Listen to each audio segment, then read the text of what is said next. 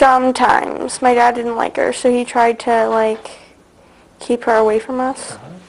So he'd send her on to run errands a lot. Um, but then eventually she, she kept coming back. Yeah.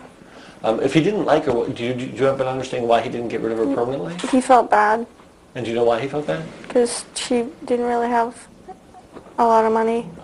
So. But, but, but in light of that, why didn't he just make her just stay away? He sent her to, like, India, I think. he sent her to India to get some stuff. I don't... She kept coming back. right? Um, was there ever a time that he came home from rehearsal so tired that you had to help him upstairs? I wouldn't be able to either, but no.